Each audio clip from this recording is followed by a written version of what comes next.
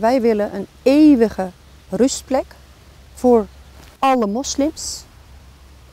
Ik, ik kom niet verder. Ik blijf haken bij de gemeente. Uh, ik heb inmiddels al zes verschillende ambtenaren gekregen, maar nog geen antwoord op mijn vraag. Van ja, het komt er, ja, het komt er. Maar wanneer? Stichting Bibin steunt Songul in de realisatie van de begraafplaats. De stichting heeft ruim een jaar geleden in Zuid-Laren haar eerste volledige islamitische begraafplaats geopend. Op begraafplaats De Dijk in Maasluis is in ieder geval voldoende ruimte voor een islamitische begraafplaats. Dit is een, eh, een kavel van de gemeente bij een bestaande algemene begraafplaats eh, in, in Maasluis.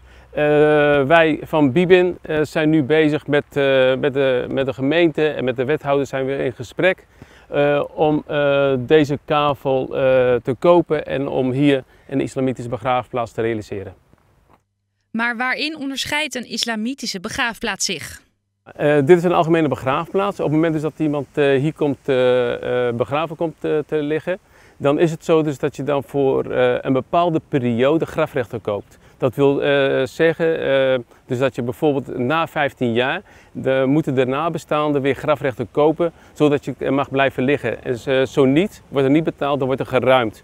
En in de islamitische begraafplaats is het zo dus dat je dan eenmaal komt te liggen, dat je dan nooit meer hoeft te verlengen en dat je dan altijd blijft liggen, net zoals bij de Joodse begraafplaats. Ook zal de stichting het beheer van de begraafplaats op zich nemen. Daarmee los je ook een heel groot probleem op, want als je een beetje om je heen kijkt hier, dan zie je dus dat er heel veel onkruid uh, ligt. Normaal gesproken wordt dat hier uh, gedaan door de uh, gemeente, dus het onkruid weggehaald. Dat kost tienduizenden euro's per jaar. Als wij het hier overnemen, dan bespaart het de gemeente heel veel geld. Met dat geld kunnen ze de armoede in Maasluis bijvoorbeeld bestrijden.